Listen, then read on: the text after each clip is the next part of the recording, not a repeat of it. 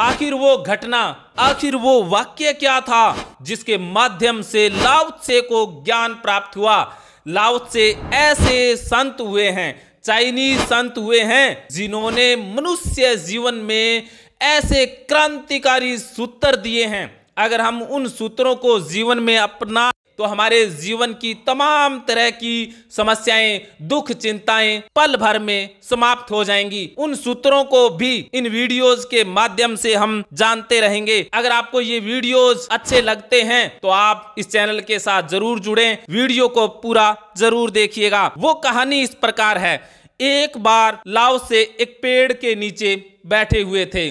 तभी एक पत्ता नीचे गिरता है। पत्ता हवा में कभी ऊपर जाता है, कभी नीचे जाता है, कभी फिर दाएँ जाता है, फिर बाएँ जाता है, ऊपर जाता है, नीचे जाता है। इस प्रकार कुछ समय बाद वो पत्ता नीचे गिर जाता है और उसी समय लाउत से एकदम से आत्म ज्ञान को प्राप्त हो जाते हैं। उनका ज्ञान सिर्फ़ इतना ही था कि हम अपने आप को छोड़ दें, समर्पित कर दें। इस संसार में जो कुछ हो रहा है, वो प्राकृतिक नियमों के कारण हो रहा है, समय के कारण हो रहा है। हम बेवजह अहंकार के कारण, अपने ईगो के कारण, कर्तापन के कारण ज़बरदस्ती हम करते रहते हैं। जब तक हम करने वाले हैं, तब तक कुछ होगा नहीं। जब अपने आप को हम प्रकृति के हवाले कर देते हैं, सरेंडर कर देते हैं, हम ज्ञानी बन जाते हैं। जैसे पत्ते ने कोई विरोध नहीं किया, हवा जिस तरफ़ ले गई, वो जाता रहा, हवा दाएँ ले गई, जाता रहा, हवा बाएँ ले गई। जाता रहा।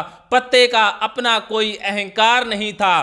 पत्ते का कोई अपना ईगो नहीं था। ना कोई कर्तापन था। आखिर में पत्ता ज़मीन को प्राप्त हो गया। उसी प्रकार जब हम कर्तापन छोड़ देते हैं, अहंकार छोड़ देते हैं तो समय और प्रकृति हमें सही स्थान पर पहुँचा देती है। तो यही कहानी जिससे लाओसे को ज्ञान प्राप्त हुआ। इसमें हमारे लिए सीखने लायक बात यही है कि हमें प्रकृति को समर्पण कर देना है, समर्पित हो जाना है। समर्पित शरीर से नहीं हुआ जाता, मन से समर्पण होता है। मन से हम सरेंडर कर दें।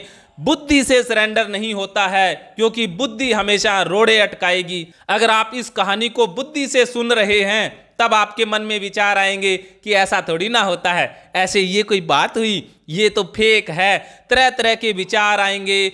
आप डिसीज़न लेंगे, कभी निर्णय लेंगे, कभी सही, कभी गलत के फेर में फंस जाएँगे। तो बुद्धि से कभी भी समर्पण होता नहीं है। समर्पण तो एक अवस्था है, मन की एक अवस्था है, जिसमें इंसान मुक्त हो जाता है। तो भगवान की कृपा तो नहीं हो सकती आपके ऊपर। कृपा करने के लिए आपको बुद्धि को हटाना होगा। जैसे ही आपकी बुद्धि हट जाएगी, आप भी, मैं भी, सभी ज्ञान को प्राप्त हो जाएँगे। तो आज से ही इतना ज़रूर समझ लें कि बुद्धि से बात बनने वाली है नहीं, सिर्फ़ सरेंडर और समर्पण से ही बात बनने वाली है।